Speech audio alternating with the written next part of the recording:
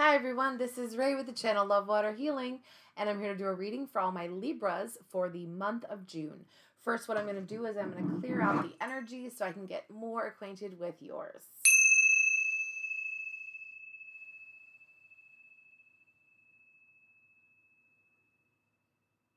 Okay, so what I saw is there's some type of eye and a rainbow. So not really sure where that leads me yet, but let's see what the fairies have to say about that what do I think about an eye and a rainbow? so that's interesting. Okay, Libra, let's see. Let's see what I think. Okay. So this says your desires fully manifest as the flowers begin to bloom. So we're starting in that process now. It's starting to be like warmer depending on where you are in the world. Um, and so you start to see some of those things coming to life.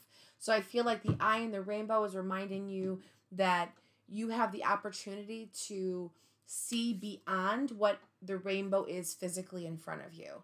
Um, we, you know, see the forest for the trees, right? So we have this beautiful rainbow, but unfortunately, we get to the end of it and there's no pot of gold. So if you're able to see beyond what that rainbow is, you can then see what the actual real picture is about. Um, and it'll give you a better idea and understanding of where you're supposed to go. Uh, check your sun, moon, and rising to get a full picture of what the month has in store for you, Libra. Okay, let's see what the tarot cards have to say about your eye and your rainbow. Um, in the springtime, the flowers are blooming. It's interesting. I like it. Ooh, okay, so let's see what we have here. You've been holding yourself back, Libra. There's something that you want to say, um, and there's a conflict that you want to bring to the forefront and you really want to like push forward on. So, uh, it's going to bring about, you know, loss in your life in terms of like, could be a friendship, it could be, um, you know, a material thing, it could be any one of those things. But what's important to realize is that um, if you are not going to move forward and you're not going to push in the next direction to forward yourself, to make yourself like on this different place, um, the universe is saying, like, we're going to keep teaching you and giving you the same lessons. And we feel like you've already learned them, but like, if you're not going to push forward, it's, you know, not the way to go. While this might bring you a little bit of grief, a little bit of sorrow, it's going to feel heartbreaking that you have to push forward um, it's important for your own self growth. So to go through the shadow of what this is in order to get to the other side. Oh, other side. Okay, rainbow. Hello. So Libra, there's a rainbow on the other side of all of this stuff going on. And it's really cool because it's going to be like you receive this abundance like through an inheritance or like from like a business that you're like putting forth. It's going to be really prosperous.